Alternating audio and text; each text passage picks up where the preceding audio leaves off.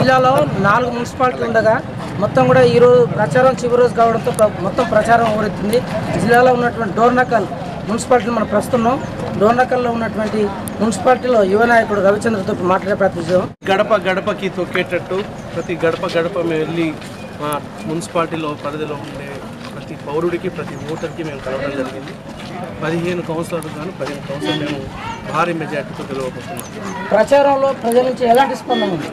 Beautiful చాలా అద్భుతంగా ఉంది. మమ్మల్ని చూసి వాళ్ళు ఆరతులు పడుతున్నారు. అద్భుతంగా మాకు వచ్చి రిక్వెస్ట్ చేసి ఇంట్లో కూర్చొని రాబోయే రోజుల్లో మేము ఏ పనులు చేయబోతున్నాం? మరి గతంలో గతంలో గ్రామ పంచాయతీ ఉండే మ- డోర్నకల్ గ్రామాన్ని మేము ఇలా మున్సిపాలిటీ చేసి అభివృద్ధి పదంలో పోవడానికి మేము చేసిన ప్రయత్నాలు మేము చెప్తున్నాము. మొన్న తెచ్చిన ఇరవై కోట్ల గురించి కూడా చెప్పాము. చాలా సంతృప్తిగా జనాలు మా మాకే ఓటేస్తారనే భావనలో ముప్పై సంవత్సరాలుగా డోర్నకల్ అభివృద్ధి చెందలేని విపక్షాలు ఆరోపిస్తున్నాయి. ఎలా స్పందిస్తుంది లేదు లేదు. ఆ విధంగా లేదు. ఇక్కడ ఉండే ప్రతి గ్రామంలో ఉండొచ్చు చూడొచ్చు. రెడ్డే నాయక్ గారు మరి బీటీ రోడ్ల పరంగా ఉండొచ్చు మరి కరెంట్ పరంగా ఉండొచ్చు ఏ సదుపాయాల పరంగా చూసినా కూడా రెడ్డి నాయక్ గారు చేసినాయి.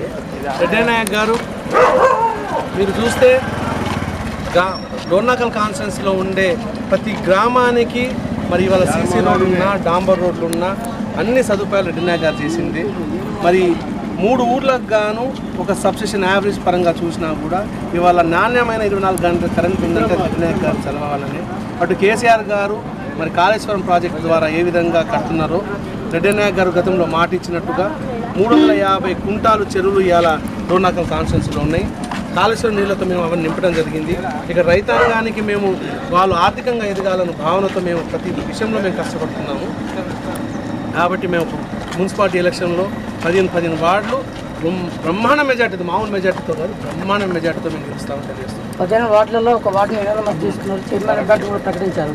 కానీ విపక్షాలు ఏమంటుందంటే అభ్యర్థులను తమ అభ్యర్థులను భయభ్రాంతులకు ఎలా? లేదు లేదు లేదు. వాస్తవానికి నేను పదిహేను మేము చూస్తున్నాము కాంగ్రెస్ పార్టీకి కానీ బీజేపీకి కానీ క్యాండిడేట్లు కరువై వాళ్ళు ప్రచారం చేస్తుంటే ఒక్కరిద్దరే కనిపిస్తారు తప్ప ఎవరు జనాలు లేరు. వాళ్ళ ప్రతిపక్షాలు ప్రతిపక్షాల వాళ్ళకి ఏముంటుంది పని ఏముంటుంది ఏదో ఒకటి విమర్శించడం తప్ప వాళ్ళు పట్టించుకునే మాకు టైం లేదు. మేము ఓన్లీ ప్రజలకి